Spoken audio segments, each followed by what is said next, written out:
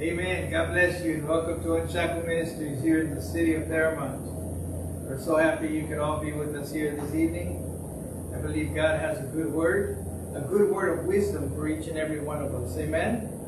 So uh, we're going to go ahead and pray and get into our Bible study and uh, and ask the Holy Spirit to lead and guide us through this whole time that we're here together in Jesus' name. And that God will be glorified. Amen. Heavenly Father, we thank you tonight for this great time that you've given to us to come together. Lord, we thank you for the place, your house that you've blessed us with, Lord God, to be able to come, Lord God, to put aside anything and everything else, Lord God, to come and to, and to, you know, to read your word, Lord, and to gain understanding and wisdom from your word tonight, Lord. And we just thank you and give you all the glory that it will help us, we will grow, and um, we will be blessed in Jesus' name. Amen? Amen. Amen. Praise the Lord. Well, I got a little bit of uh, sad news. It's really a lot of sad news for me, but um, um, Brother Garza, uh, Eddie Garza, he passed away uh, yesterday.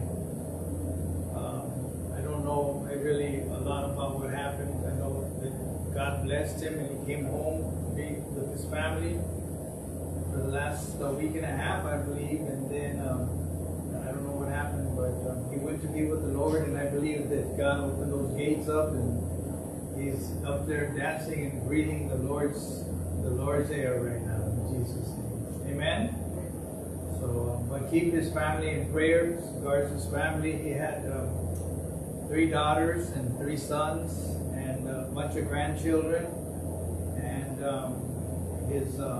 His family's putting up videos of all all his his uh, times with them at the home and things like that. And it's a blessing to see.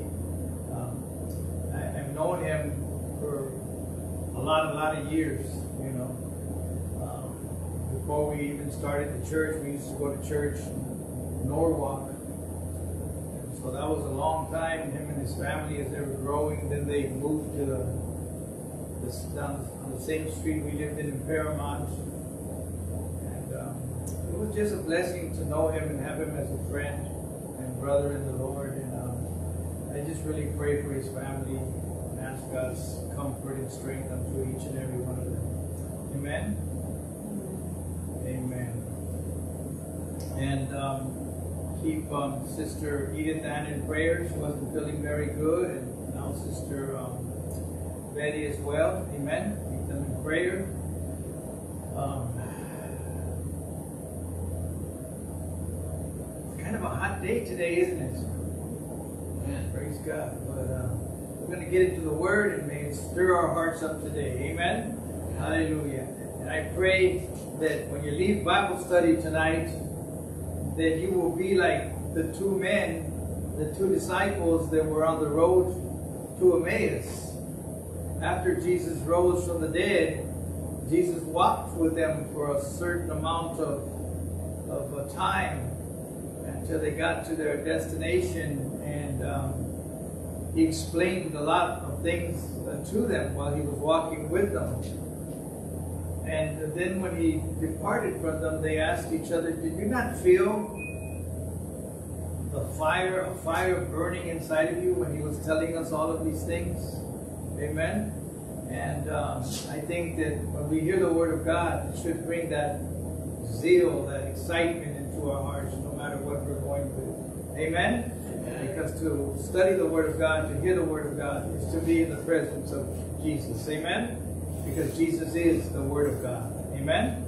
Hello? Well, the Lord put something in my heart today as I was doing my devotionals. And it says, going to Proverbs chapter 2. I want to share a couple of things I found concerning wisdom because that's what it talks about wisdom. Um, while you're moving in your, you're getting your Bibles out and, and moving to Proverbs chapter 2, I'll share it with you. It says the first part of Proverbs examines the nature of wisdom and applies wisdom to specific, to specific issues.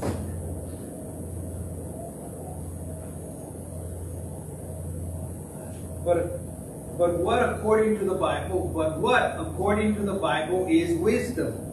And how will the wise person live?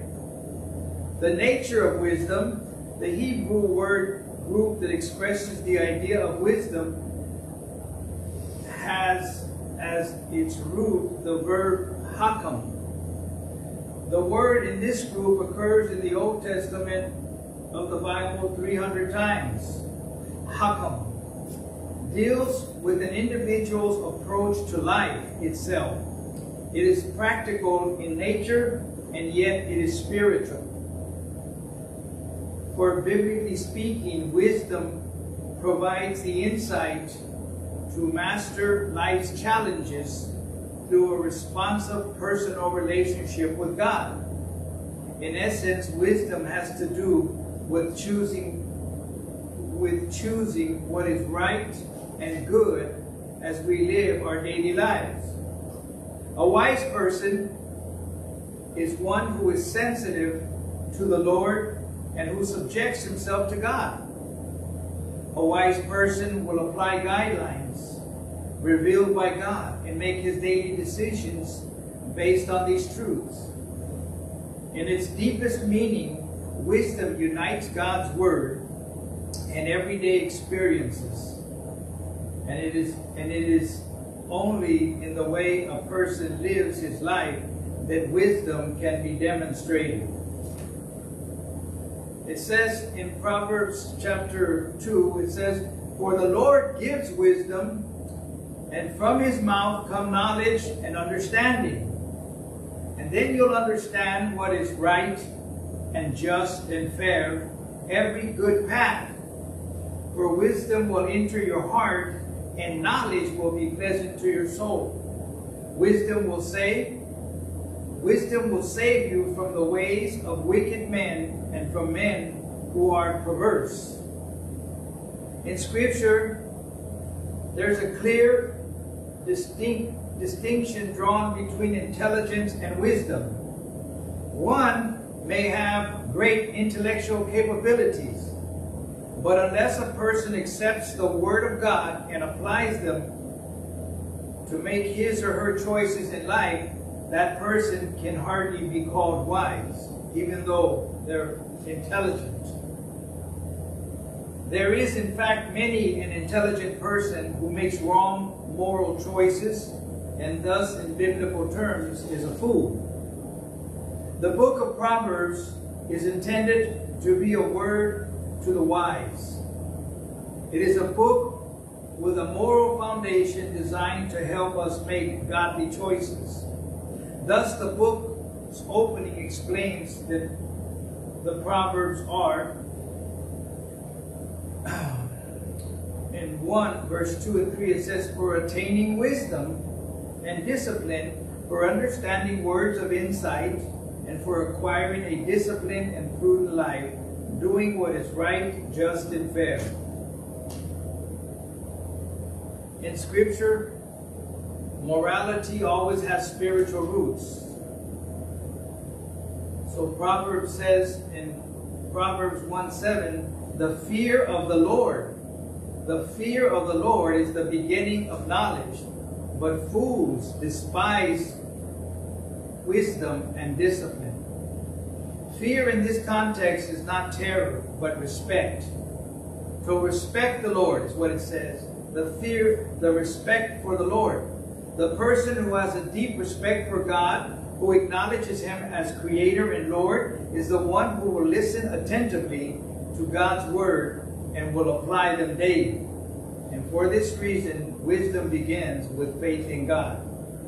But for a person of faith to be wise, he must act with full trust in God and live according to that word. Amen? Amen. No.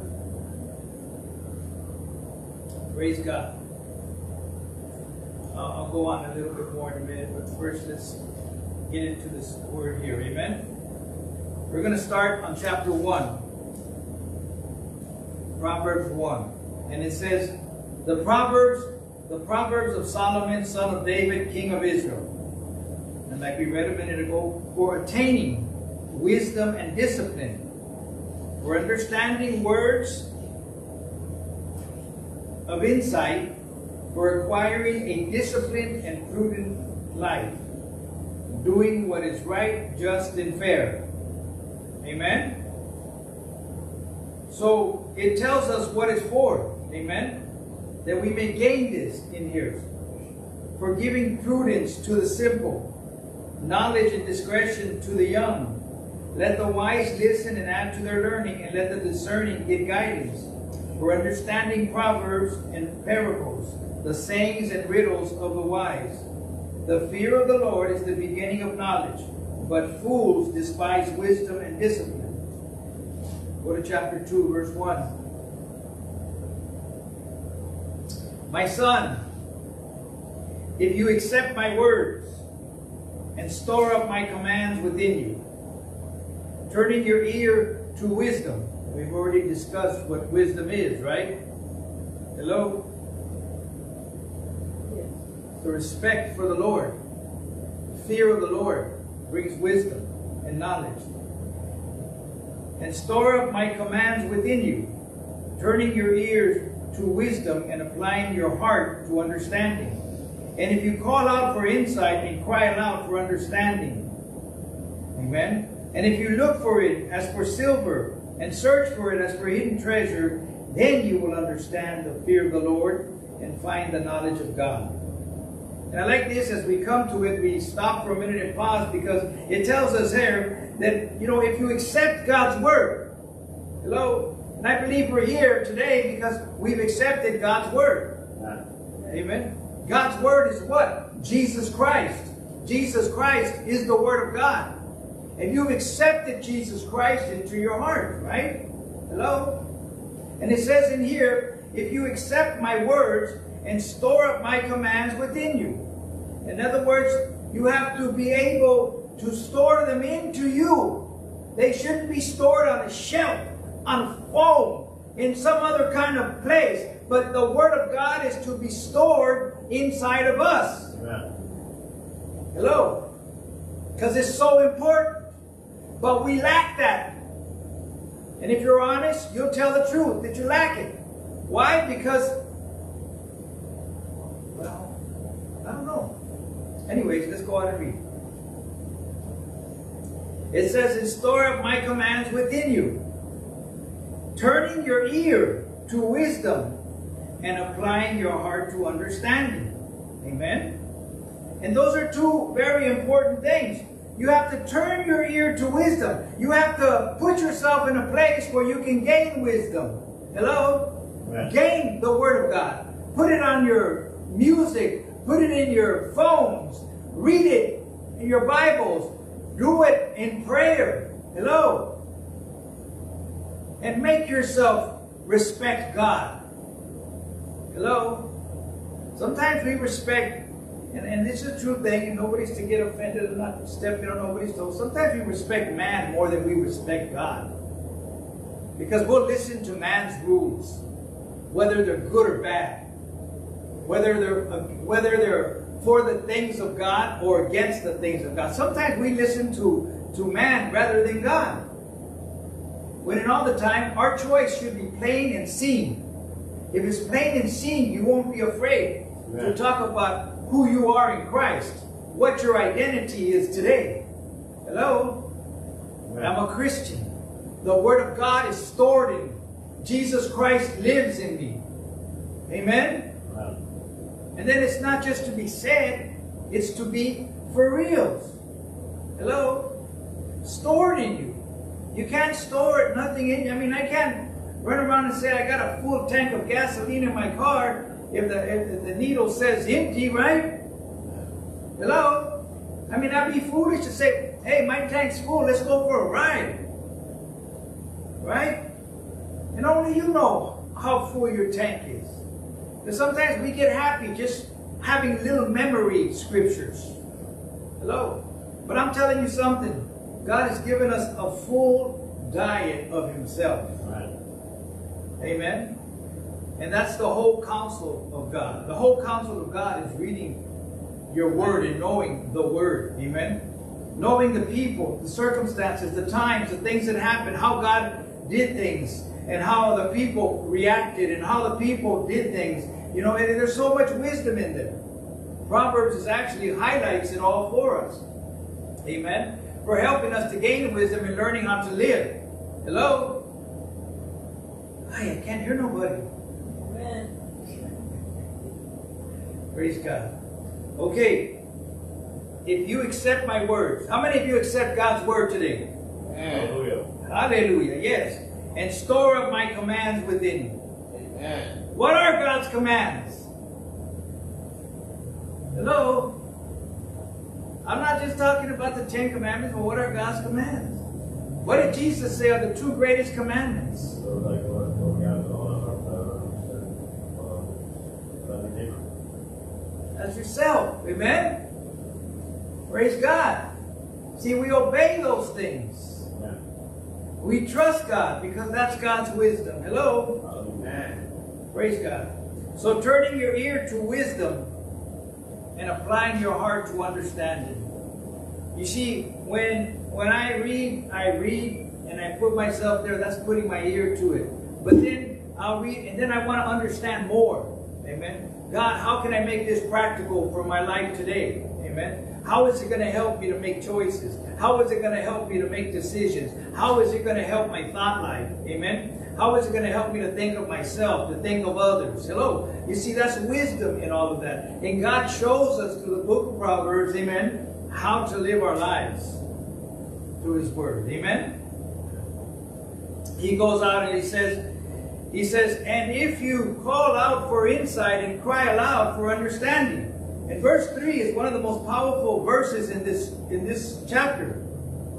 Because if you see right there, what do you think they're talking about? If you and if you call out for insight and cry aloud for understanding. What do you think they're talking about right there? Anybody want to help me here?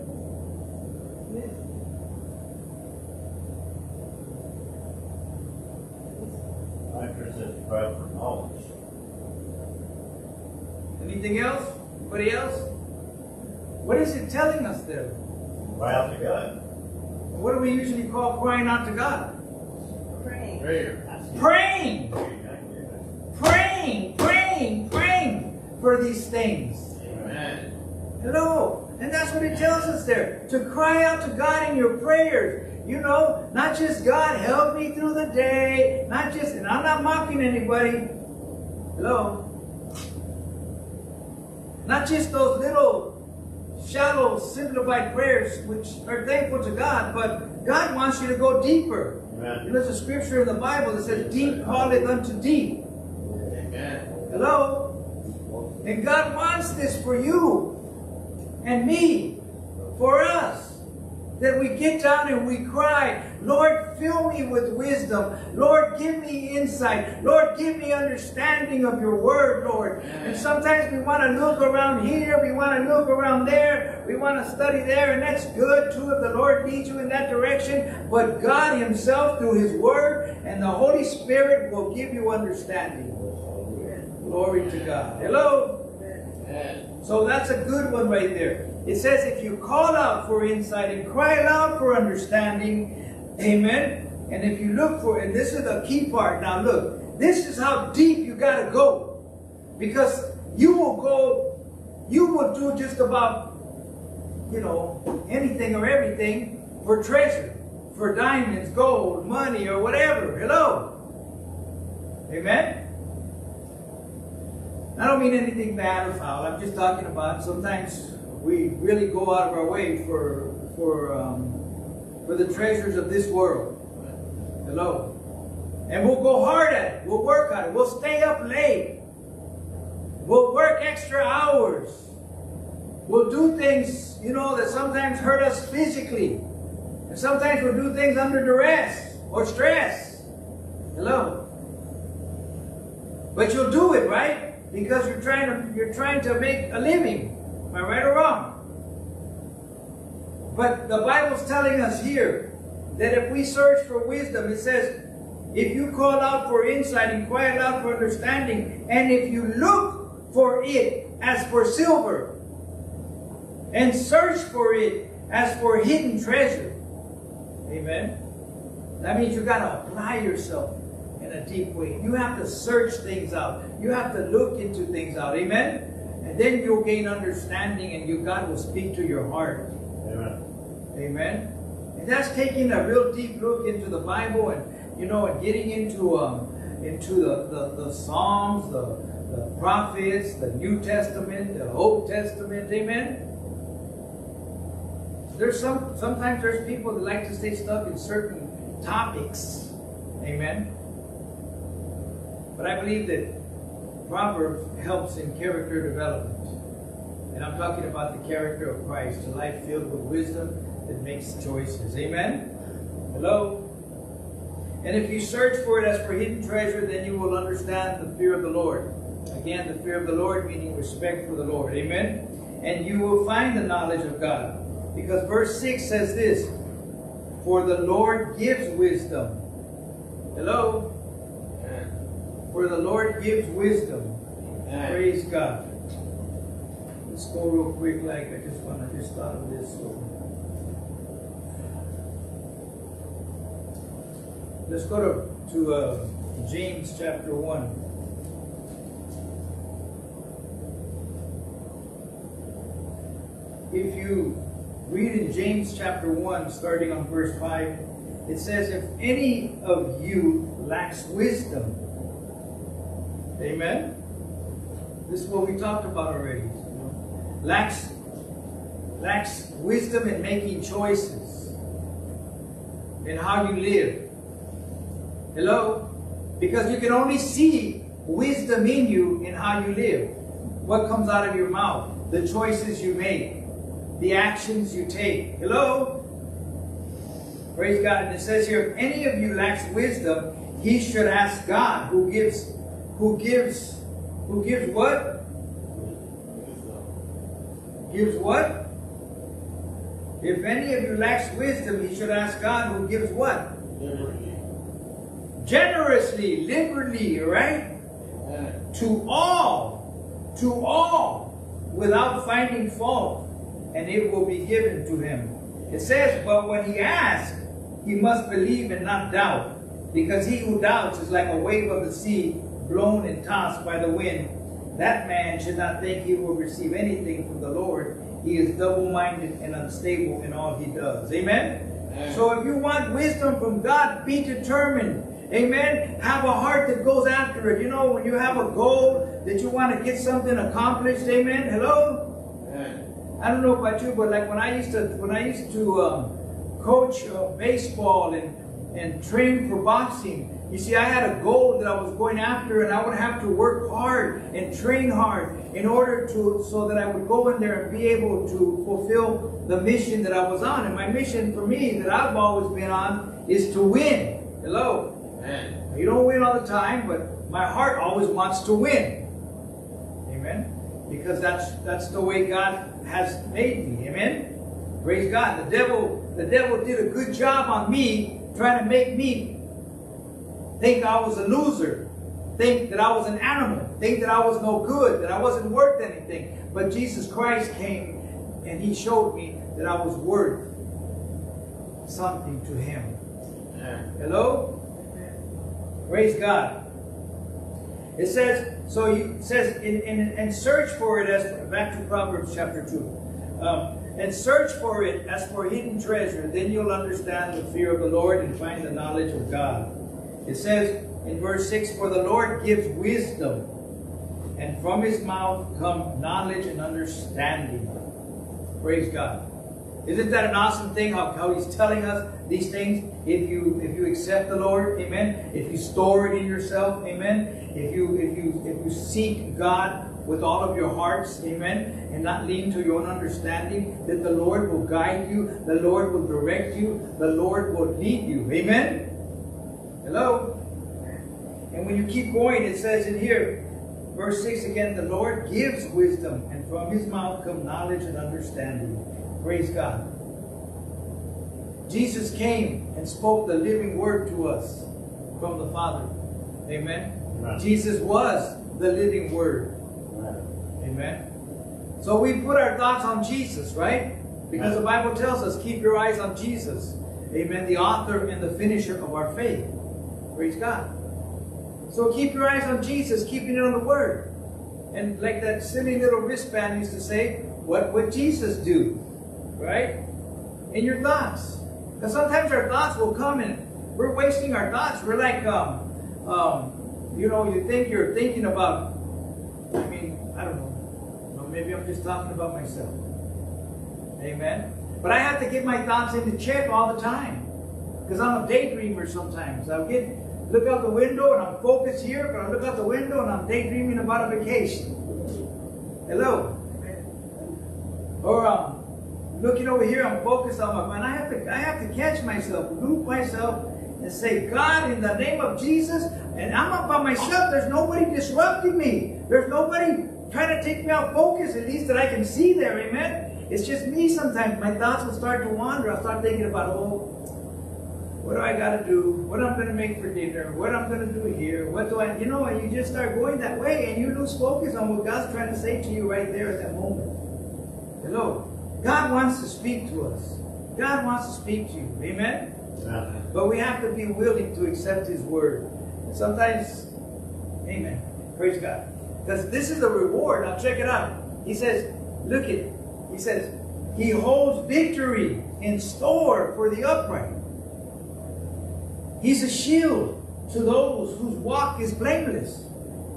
Now, victory and shield are important things to me. I want God to shield me from the attacks that come through life, the troubles that come through life, the troubles that come through people. Amen. I want the victory. I still have that. That's why I love Jesus, because Jesus always talks about victory, and I always like to live in victory. Amen. Amen. Hello?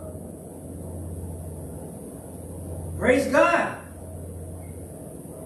You know, a long time ago, many, many years ago, before I came to the Lord, the, the, the devil tried to make a prophecy over my life.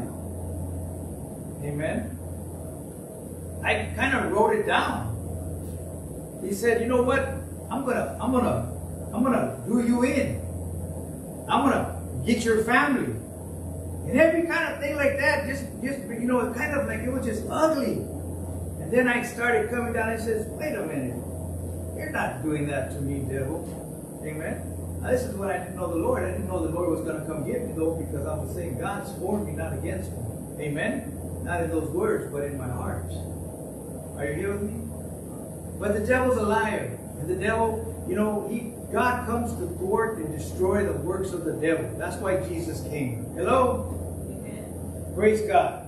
Okay, it says he holds in store victory for he holds victory in store for the upright. Amen. Now praise God. Now when you read that, you say he holds the victory for you if you're what?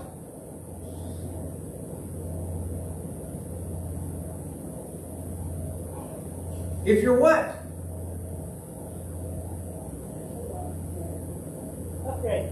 upright. It's right there in front of us. You see, he's telling us very clearly, but sometimes, sometimes we just don't get it. I've been on this thing where I've been sharing this with people. It says, Mike's mother has three kids. One is named Nicole, and the other is named Nicholas. What's the name of the third child? Mike. Yeah, that's good. Not too many people get it right away. But you see, the answer is right there in the question. And that's the way God's Word is for us. The answer is right here in the Word for us. Amen. Whatever you're going through, whatever you're troubled with, the answer is in the Bible for us. Amen. Amen. But you just have to see it. That's what you know, and that's what we have to learn. That, that, that you know, in our old ways, in our old ways, the Bible says that that Satan blinds the eyes of unbelievers. What is he blinding their eyes to? To the things God has for us, to the blessings of God, to the salvation of God. Hello. Amen. It says, He holds victory in store for the upright. He's a shield to those whose walk. He's a shield to those whose walk is what? Blameless. Now, blameless. for he guards the course of the just. All of those things are rewarding things. The victory, the shield, he guards our path, our walk in life. Amen? Amen. Hello? But he says two things. He says four things actually there. He says, first of all, you got to be upright. He says you got to be blameless. He says you have to be just. And then the last one, he says you have to be faithful. Amen. For he guards the course of the just and protects the way of his faithful ones. Then you will understand what is right and just and fair in every good path. Amen. Amen. You'll understand every good every every fork in the road you come to where you get stuck at. Amen. You got to make a decision. It sounds good to go this way, and it sounds good to go this way. But what what way does God want you to go? Amen. Hello? Do you know? You know when you come to the forks, those choices, the decisions. Amen? Should I lie should I not lie? Should I cheat or should I not cheat? Amen? Should I be honest or should I not be honest? You know, those, those are when we come, when you see the integrity of your heart. The integrity of your heart should be the way, the truth, and the life. Amen. Hello? Praise God. It says in verse 10 For wisdom will enter your heart. For wisdom will enter your heart, and knowledge will be pleasant to your soul. Discretion will protect you, and understanding will guard you. Praise God. Isn't that so good? Hello? Now it goes on to show us how wisdom can protect us. Amen. It says here in verse 12, it says, Wisdom will save you from corrupt companionship. Amen. Hello? Corrupt companionship. What is corrupt companionship to you? A drunk, a drug addict, a prostitute, a, a, a criminal? Is that a corrupt companionship? Or is corrupt companionship an unbelieving family member? Is corrupt companionship an unbelieving friend? Amen? Is corrupt companionship the unchurched? Hello? You know, there's all those different places where we don't look, but we, we let ourselves be influenced by certain peoples. Hello? Amen.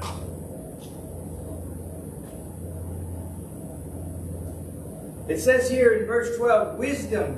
What? What did it say? What? What? What? Wisdom. Wisdom. Maybe, maybe you got to say wisdom. Wisdom. Wisdom. Wisdom. Amen. There's, you know, there's worldly wisdom, right? And then there's heavenly wisdom. Wisdom from up from above is, is it comes from God, perfect gift. Amen. Wisdom from above. And it's something that we should seek because it will protect you. It says wisdom will save you from the ways, from the ways of wicked men, wicked people. Amen. Do wicked people have ways? Yep. Amen. Have you ever met a wicked person? I'm not talking about a monster from a monster movie. I'm not talking about Chucky or whatever the other one's name. What are the other one's names? Jason. See, they know them. I'm not talking about the fairy tale ones. Those are written in something, but you know, there's wicked men, people that are dressed in, you know, like the Bible says that don't be surprised, for Satan himself can can, can transform himself into an angel of light. Amen. Amen. So therefore, we need to be careful too about about those you know who try to help us and guide us. Amen. Because if we start to seek guidance from something other than what God says, you know, then it could be it can carry results that are not too favorable. Amen. Hello. It says, Wisdom will save you from the ways of wicked men. What are some of the ways of wicked people? Let's just say bad people. Or maybe we should just say sinful people. Perverse speech. Perverse speech. What is perverse speech? Right away, we're going to think perverse speech is nothing but profanity, right? But that's not just perverse speech. Any perverse means um, that that you make that's good, you make it bad. Hello? You make it you make it ugly, you make it nasty. Hello? Are you here with me? Amen.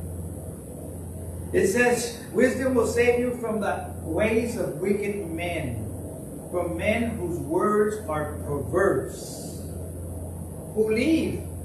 So I like this because it tells you that at one time, at one time they were on the right road.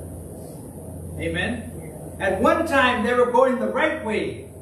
At one time they were kneeling before the King of Kings. But then for some reason, for somehow they abruptly just because of their own pride and arrogancy or whatever it is, they feel unsatisfied. Amen? Hello? They turn against the ways of the Lord. Hello? Amen. Wisdom will save you from the ways of wicked men, from men whose words are perverse, who leave the straight path to walk in dark ways, who delight in doing wrong and rejoice in the perverseness of evil, whose paths are crooked and who are devious in their ways. Now, in this world, I'm telling you, we run across those people every day. Hello? There's people like that all over the place, and they don't have a sign on that says that I'm a wicked person. Amen? The system sometimes is set up like that for them to to want to lie to you, to cheat you, to sell you a product, to sell you a place, to sell you a thing. Hello? But it's up to us to understand that God will protect you if you seek His wisdom. And He says here that God's wisdom will protect you from situations and people as, as these. Amen? Amen. Not only that, it helps in another way. Look at what it says here. It says also, it will save you also from the adulteress. Whoa.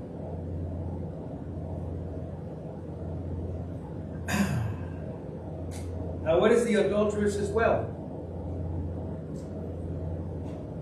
Anybody want to share with me what an adulteress is?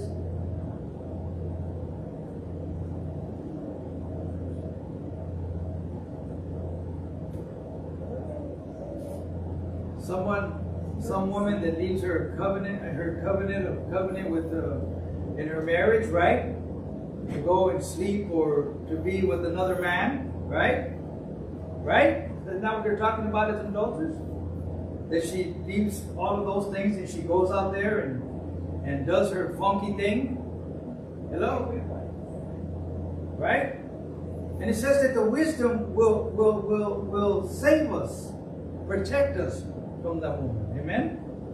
It says, it will save you also from the adulteress, from the wayward wife with her seductive words. I like the way they put it here, that the wicked man has um, um, words that are perverse, but the adulterous uh, woman, she has seductive words. What are seductive words? Seductive words, something to draw you in. Now, if you stop looking at the human side of it and quit thinking about the um, adulterous wife, and look at the, the, the adulterous spirit. Amen. There will come um, uh, Jezebel or Luciferic. Um, you know, they're they're both the same. They both work the same kind of way. Amen. Um, to try to to thwart um, um, leadership and, and things of that sort. Amen. But they don't do it just come out straightforward. They come out in cunningness, seductiveness to win their case. But God says that He His wisdom will protect us from her. Amen. Amen. It says, It will save you also from the adulteress, from the wayward wife with her seductive words, who has left the partner of her youth and ignored the covenant she made before God. For her house, the woman that lives like this or does this, or the spirit that leads this way, her house leads down to death, and her paths to the spirits of the dead. None who go to her return or retain the paths of life. Amen. So, gaining wisdom tells us that we, we start looking at God's Word, amen, and understanding what God's Word is telling us. Hello? And letting it lead us, Amen. letting us retain it Amen. so that we can make choices, so that we can put up our defenses, so we can be alert, Amen. We can discern Amen. what's of God and what's of man, what's cunning, what's trying to lead us the wrong way. Amen. Hello? Then there's a number three thing. There's a number three thing. It protects you from those two things, which you can I can break that down and go into a lot of different things for each one of them. The, the wicked man and the adulterous uh, wayward wife.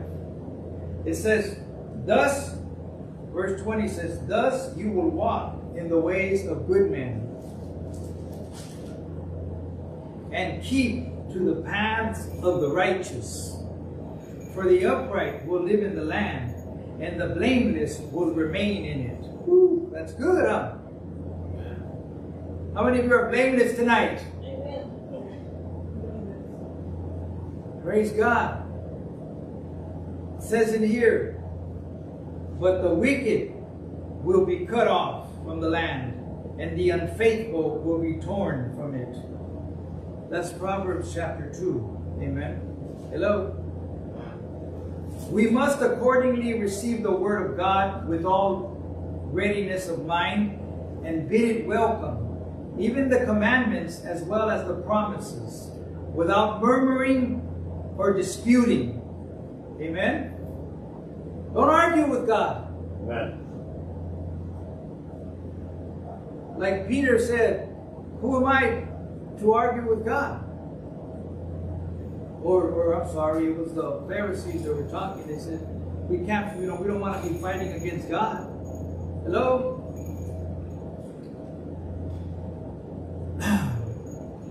We should also we should be like this every day. Speak, Lord, for your servant hears you. Jesus said, My sheep know my voice.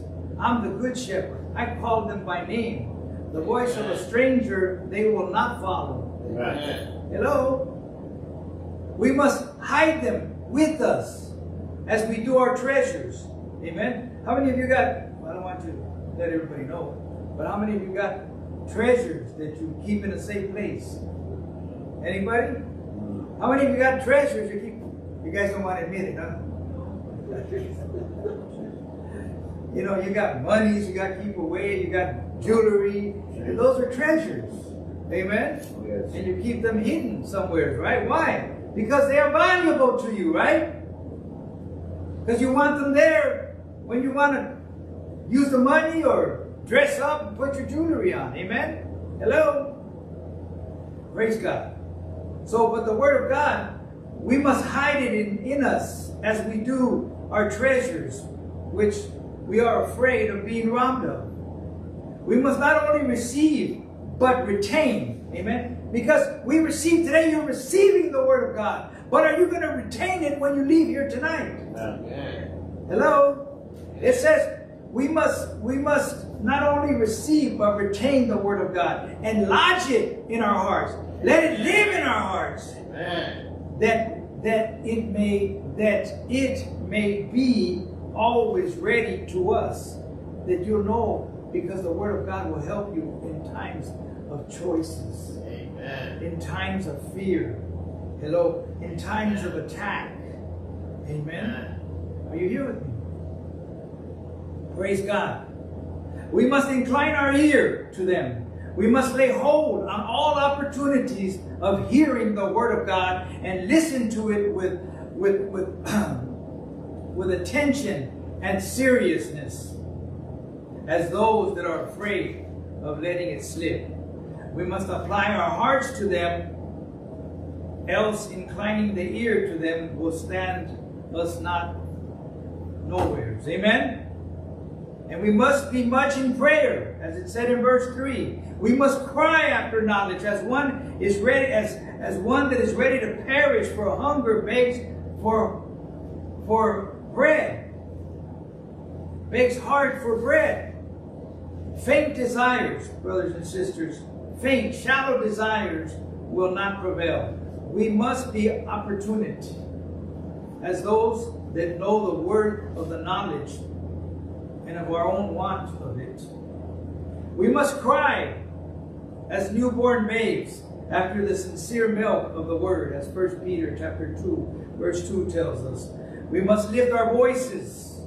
We must lift our voices for understanding and lift it up to heaven. Because that's where every good and perfect gift must be expected from, as it says in James 1:17.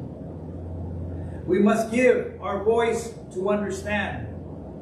So the word is, speak for it, vote for it, submit the tongue to the commands of wisdom. We must consecrate our voice to it, having applied our heart to it. We must employ our voice in seeking it. Solomon could write all this down for us. Amen. He prayed for wisdom and he obtained it. You can write these down. I don't have time to read them to you today, but I'm going to just in 1 Kings chapter 3 verses 5 through 14. In 1 Kings chapter 4 verse 29.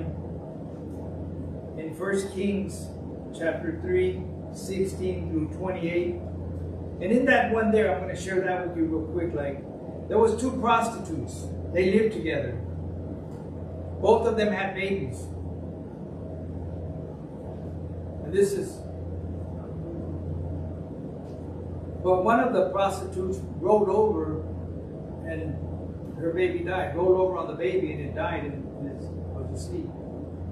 So she woke up and she saw her baby dead. So she went to the other bed where the other prostitute was named with her live child, and she put the dead baby where the live child was and took the live child to be her child. Well, when the woman woke up, she said, This isn't my baby. It was a dead child. This isn't my baby.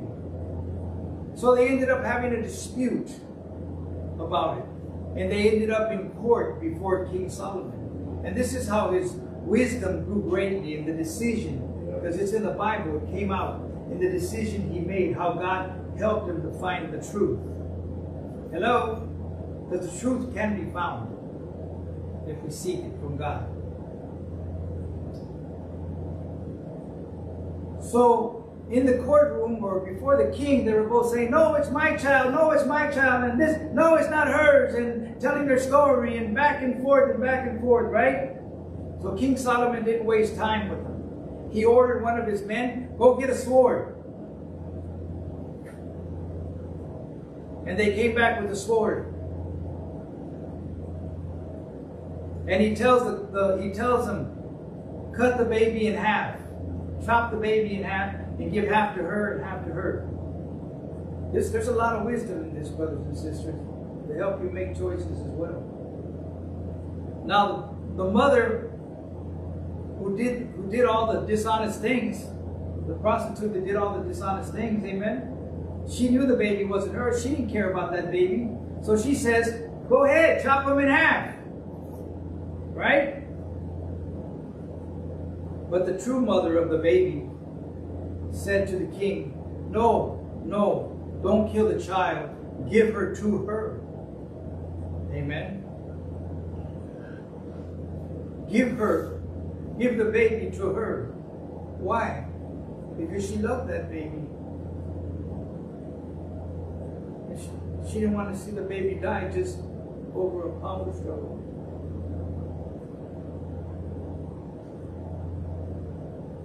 And what Solomon gained out of that and what he said, give the baby to this lady, its rightful mother. Amen. Because that's her true mother. That's the baby's true mother because she wouldn't want to let the baby die.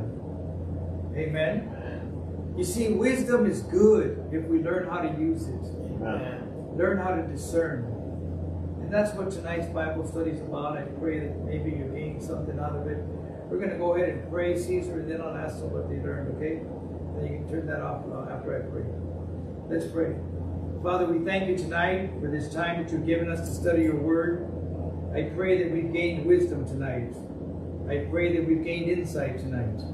Lord, I pray that you help us, Lord God. As it says in James, if we lack wisdom, we know where to ask. We know that we can ask you for it and you give it to us generously, Lord. So tonight I pray for all of us. We all ask you with humble hearts. Give us more wisdom, your wisdom, Lord God. Bless us, Lord God, that we will make wise decisions as Solomon did in the matter of the prostitution. And in every choice and decision and walk of life, help us to stay on every right path and to be blameless, Lord God. And to be, Father God, honest, Father God, and faithful to you, Lord. We thank you for this today, and we know that you will bless us as we pray these because this is your will for us. In Jesus' mighty name. Amen. Amen.